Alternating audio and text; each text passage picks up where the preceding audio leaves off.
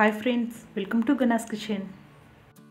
ఈరోజు మన గనాస్ కిచెన్లో గోంగూర పండుమిర్చి పచ్చడిని ఎలా తయారు చేయాలో ఈ వీడియోలో చూసేద్దాం. ముందుగా నేను ఇక్కడ రెండు వందల గ్రాముల గోంగూరని తీసుకున్నానండి. దీనిని రెండు నుండి మూడు సార్లు శుభ్రంగా క్లీన్ చేసి తడి లేకుండా పొడి క్లాత్ మీద ఎండబెట్టుకోవాలి. అలాగే మనం ఏ క్వాంటిటీ అయితే గోంగూరని తీసుకున్నామో అదే క్వాంటిటీ పండుమిర్చిని కూడా తీసుకోవాలి. దీనిని కూడా శుభ్రంగా క్లీన్ చేసి తడి లేకుండా తుడుచుకొని తీసుకోవాలి. ఇప్పుడు ఈ పండుమిర్చిని చిన్న ముక్కలుగా కట్ చేసుకోవాలి.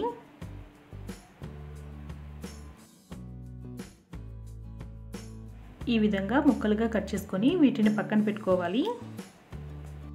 ఇప్పుడు స్టవ్ ఆన్ చేసి కడాయి పెట్టి ఇందులోకి రెండు టీ స్పూన్ల ధనియాలు వేసుకోవాలి. అలాగే ఒక టీ స్పూన్ ఆవాలు వేసుకోవాలి. అర టీ స్పూన్ మెంతులు వేసుకోవాలి. వీటన్నిటిని లో ఫ్లేమ్ మీద దూరగా వేయించుకోవాలి.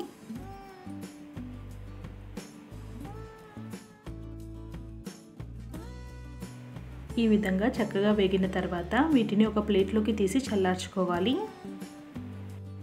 ఇప్పుడు అదే కడాయిలో పావు కప్పు నూనెను వేసుకోవాలి. నూనె వేడిగా అయిన తర్వాత ఇందులోకి గోంగూరను వేసుకోవాలి.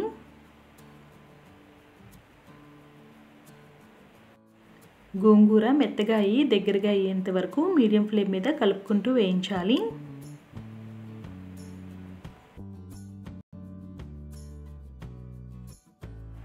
గోంగూర ఈ విధంగా మెత్తగా ఉడికి దగ్గర పడిన తర్వాత స్టవ్ ఆఫ్ చేసి దీనిని కొంచెం సేపు చల్లార్చుకోవాలి. తర్వాత ఒక మిక్సీ జార్ని తీసుకొని ఇందులోకి మనం ముందుగా వేయించి పెట్టుకున్న ధనియాలు ఆవాలు మెంతులు ఉన్నాయి కదండి వాటిని ఫైన్గా పౌడర్ చేసుకోవాలి. ఈ విధంగా ఫైన్గా పౌడర్ చేసుకోవాలి. ఇప్పుడు ఈ పౌడర్ని ఒక బౌల్లోకి ట్రాన్స్ఫర్ చేసుకోవాలి.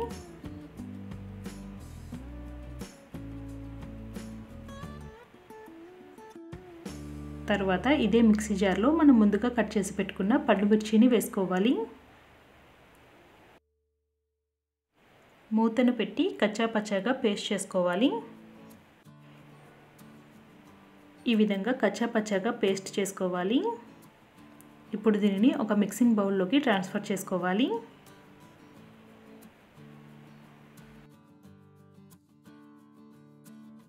ఈ విధంగా ట్రాన్స్ఫర్ చేసి దీనిని పక్కన పెట్టుకోవాలి.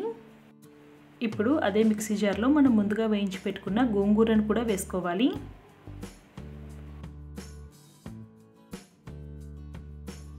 అలాగే ఇందులోకి చిన్న నిమ్మకాయ సైజ్ అంత చింతపండుని తీసుకొని అరగంట ముందు నానబెట్టుకొని దానిని కూడా ఇందులోకి వేసుకోవాలి. పది వెల్లుల్లి రెప్పలను తొక్క తీసి వేసుకోవాలి. వీటన్నిటిని మూత పెట్టి ఫైన్గా పేస్ట్ చేసుకోవాలి. ఈ విధంగా ఫైన్గా పేస్ట్ చేసుకొని దీనిని కూడా అదే బౌల్లోకి ట్రాన్స్ఫర్ చేసుకోవాలి.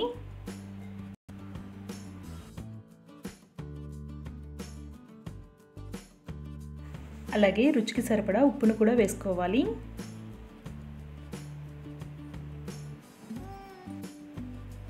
వీటన్నిటిని కలిసేటట్టుగా చక్కగా కలుపుకోవాలి.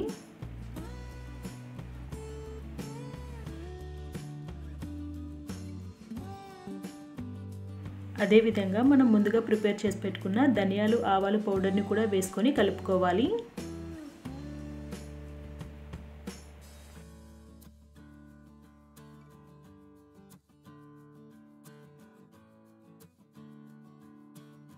ఈ విధంగా కలుపుకున్న పచ్చడిని పక్కన పెట్టుకోవాలి.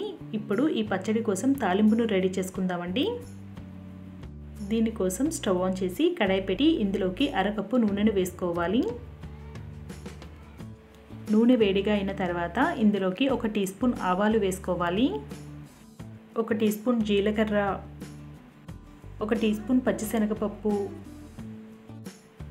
అర టీ స్పూన్ మినప్పప్పు.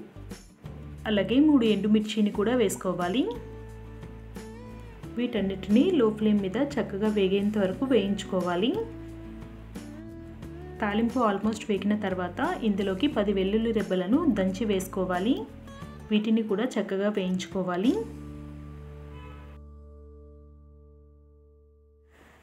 అలాగే కొంచెం కరివేపాకును కూడా వేసి వేయించుకోవాలి.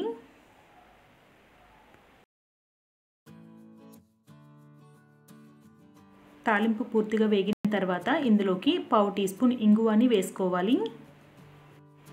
ఇప్పుడు ఇందులోకి మనం ముందుగా తయారు చేసి పెట్టుకున్న పచ్చడిని వేసుకోవాలి. పచ్చడి వేసిన తర్వాత మంటని లో ఫ్లేమ్ మీద పెట్టి ఆయిల్ మొత్తం సపరేట్ అయ్యేంత వరకు వేయించుకోవాలి.